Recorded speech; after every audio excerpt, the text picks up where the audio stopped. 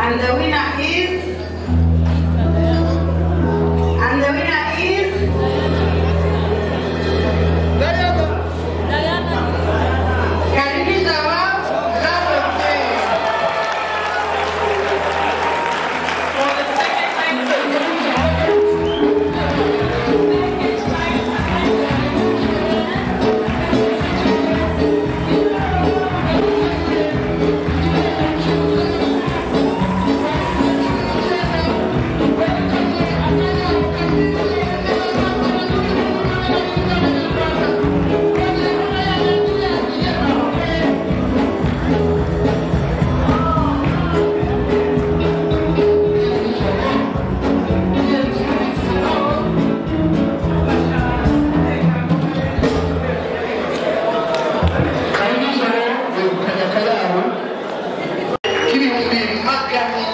Inani by'abanyarwanda rwose tumwongera amashyi menshi cyane tonight we are here for this we are here to reward our media practitioners in their excellence. Thank you so much.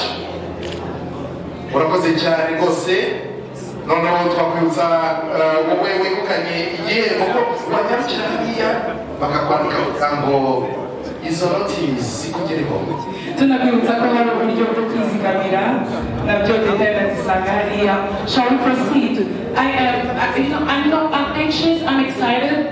So let's keep it going because they want to know nuko rero reka dukomezanye n'igihembo cya kabiri igihembo cya kabiri kijyanye na gender and children rights reporting. Abantu bakora mu itangazamakuru batangaza inkuru zibanda ku uh, burenganzira uh, bw'abana ndetse n'uburenganzira uh, bushingiye ku gitsina. Ndibaza ko ari by'umwihariko uburinganire.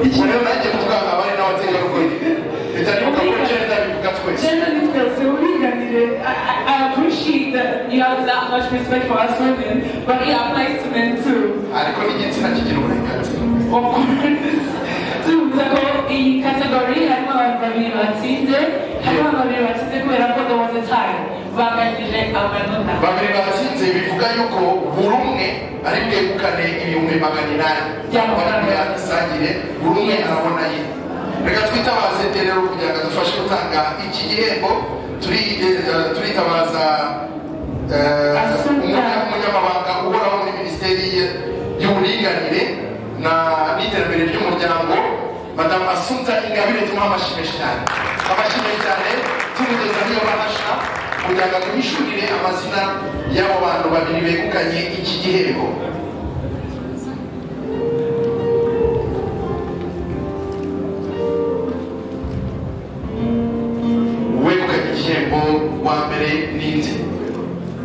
wa mbere ni umuhoza honore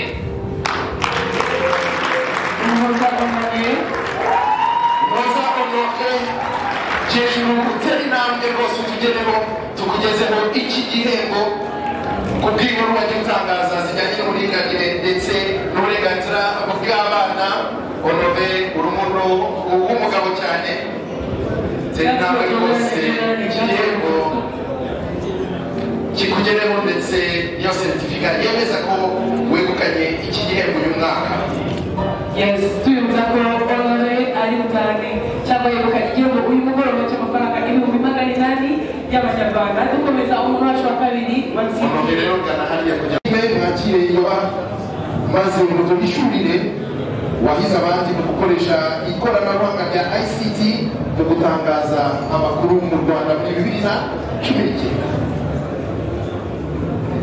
wagize abandi mu gutangaza inkuru eh, itumanaho n'ikoranabuhanga ni karimijabo jean dodier karimijabo jean de dieu karinijoro Jean de Dieu uze hano uje hano yihuta cyo kimwe n'iryo koranabuhanga akoresha kugira ngo yakire iki gihembo akwiriye kuko yahize abandi mu kwi- kwifashisha iryo koranabuhanga iryo koranabuhanga rya ICT ndetse n'itumanaho kugira ngo ageze ku banyarwanda inkuru zitandukanye zibafitiye akamaro